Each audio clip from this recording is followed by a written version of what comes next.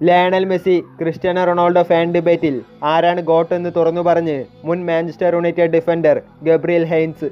കരിയറിൽ ഇരു താരങ്ങൾക്കുമൊപ്പം കളിക്കാൻ അവസരം ലഭിച്ച ചുരുക്കം താരങ്ങളിൽ ഒരാളാണ് ഹെയ്ൻസ്. രണ്ടായിരത്തി നാല് മുതൽ രണ്ടായിരത്തി ഏഴ് വരെ റൊണാൾഡോയ്ക്കൊപ്പം മാഞ്ചസ്റ്റർ യുണൈറ്റഡിൽ കളിച്ച താരം അർജന്റീൻ ദേശീയ ടീമിൽ മെസ്സിക്കൊപ്പവും കളം പങ്കുവച്ചിട്ടുണ്ട്. ഇരുവരിൽ നിന്ന് ഒരാളെ തിരഞ്ഞെടുക്കാൻ ആവശ്യപ്പെട്ടാൽ താൻ ക്രിസ്ത്യാനോ റൊണാൾഡോയുടെ പേര് പറയുമെന്ന് ഹെയ്ൻസ് പറഞ്ഞു.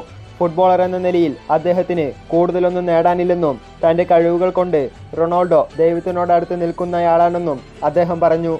ദ സണ്ണിനോടാണ് ഹെയ്ൻസ് ഇക്കാര്യങ്ങൾ പങ്കുവച്ചത്. രണ്ടുപേരിൽ ഒരാളെ തിരഞ്ഞെടുക്കാൻ ആവശ്യപ്പെട്ടാൽ ഞാൻ റൊണാൾഡോയുടെ പേര് പറയും.